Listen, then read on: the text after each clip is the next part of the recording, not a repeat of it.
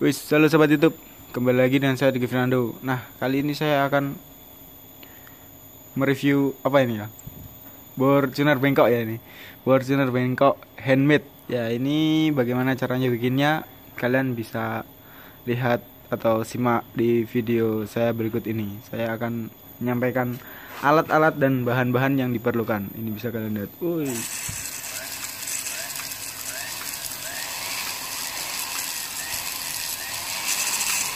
Wih, mantap kan? Ayo, mari kita bongkar dan kita lihat bahan-bahannya apa aja. Oke? Jangan lupa like, share, dan subscribe channel saya di Givino 60 atau di S channel agar saya semangat bikin video lagi. Oke.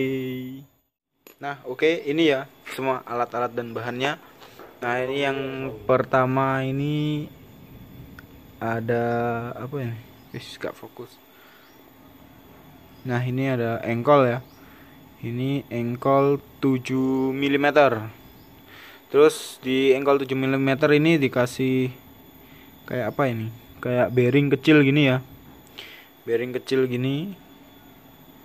Ini bearing kecil terus dikasih kayak Seng gini biar rapat ya ini. Biar rapat terus ini engkolnya dipotong. Terus ada klem-kleman gini klem-kleman satu sama ini. Yang terpenting mata bor tuner terus ini per ini per dari bekas bor tuner yang tidak dipakai atau bekas bor tuner yang udah putus. Terus juga ini cupnya juga bekas dari bor tuner juga ya. Terus kalau yang ini yang bawah ini bikin sendiri ya ini. Ya yang ini bikin sendiri.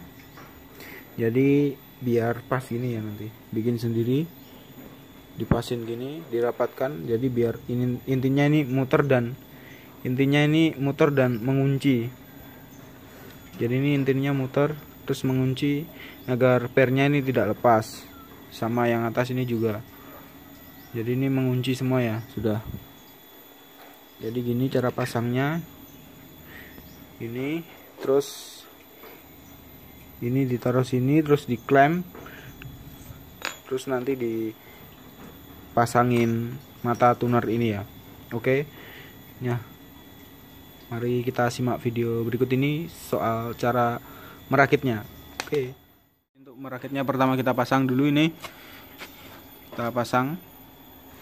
Terus dirapatkan. Ini pakai tuner yang borcun gantung foredom atau apalah pokoknya yang model seperti ini ya. Nah kita pasang tadi yang engkolnya.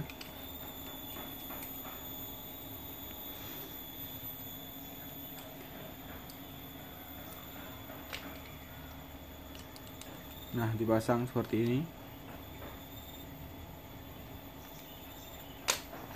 Terus langsung kita pasang mata tunernya dan kita colokkan. Slep.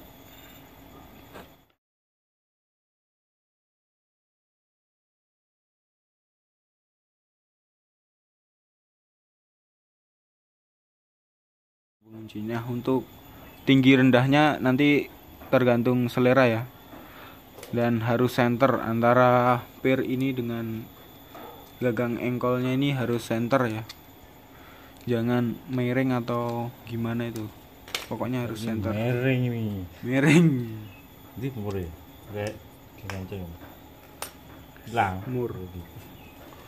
Nah ini, ini kita pasang mur biar sebagai pengunci biar kuat ya ini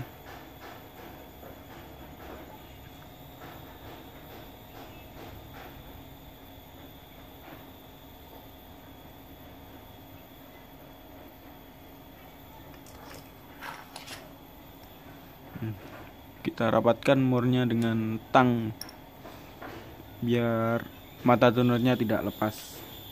Telung mili pas ini piring. Telung mili ya ini kalau kalian punya bor tuner yang kecil itu yang pernya 3 mili itu bisa juga pakai langsung pernya nggak perlu pakai pengunci ini atau yang bawah itu jadi langsung dijapitkan atau dipatenkan gitu juga bisa ya teman-teman. Ya ini berhubung kita punyanya cuman per yang besar jadi harus punya penguncinya ini sama yang bagian bawah. Nah ini pedalnya. Nanti tinggal kita uji coba. Oke siap tes. Us mantap. Mantap. Eh, udah ya teman-teman? Udah berfungsi. Nah coba kita buat porting. Nah ini kebetulan nggak ada blok jadi ini pakai kop aja ya. Nggak ada blok dua tak kita coba. Mantap ya ini bisa kalian buat porting porting dan untuk kalian